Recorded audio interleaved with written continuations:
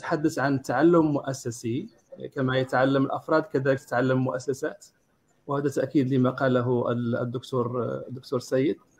وإدارة المعرفة على اعتبار أن التعلم الهدف الرئيس الرئيس منه هو الحصول على على المعرفة.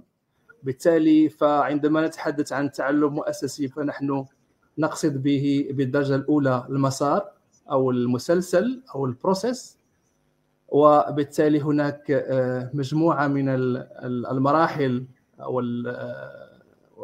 الاساسيه التي نحتاجها لكي نتعلم.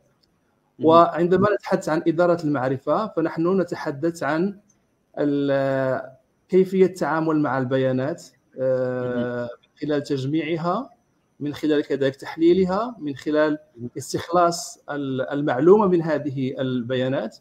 ثم آه، إنتاج المعرفة من خلال هذه البيانات ونقلها إلى العاملين في المؤسسة وتوثيقها. فاذا عندما نتحدث عن عن تعلم مؤسسي فنحن نتحدث عن بروسيس وعندما نتحدث عن إدارة المعرفة فنحن نتحدث عن المضمون.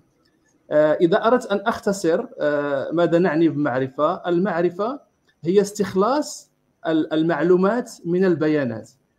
وعلى اعتبار أن البيانات هي عبارة عن الأثر الذي تحدثه أو يحدثه العمل. أي اكشن نقوم بها فما تحدثه هذا الاكشن هذا العمل فهو البيان أو البيانات.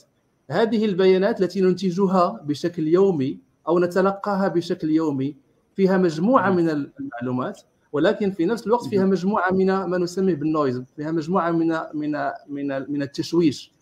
فبالتالي المؤسسة المتعلمة هي التي تستطيع أن تستخلص من هذه البيانات المعلومات التي تقود إلى المعرفة.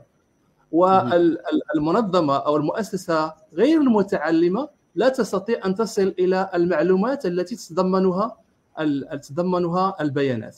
اذا هذه العلاقة الجدلية ما بين إدارة إدارة المعرفة والتعلم المؤسسي أصبحت الآن آه، جوهرية ومهمة وتحتاج المنظمات على أنها تعتني بها وتستوعبها لماذا؟ لأن المعرفة سلطة.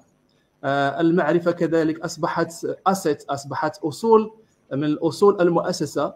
الآن التفاضل والتنافس بين المنظمات ليس على مستوى الموارد المالية فحسب وإنما على على آه، كذلك على مستوى ما تتوفر عليه هذه المنظمة من امكانيات معرفية. من موارد معرفية بل أكثر من ذلك هناك مجموعة من المنظمات منظمات المجتمع المدني التي لا تقدم خدمات وإنما دورها الرئيسي أو خبرتها أو كفاءتها إنما في إنتاج في إنتاج المعرفة وفي نقلها إلى باقي المؤسسات الأخرى وباقي المنظمات الأخرى.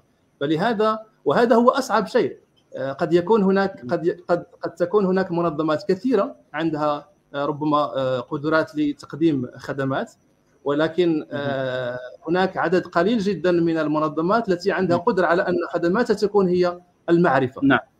نعرف الآن حتى على مستوى الاقتصاد اليوم أصبح اقتصاد المعرفة هو الاقتصاد الذي تنافس به الدول الكبيرة الدول المتقدمة تنافس بعضها بعضا.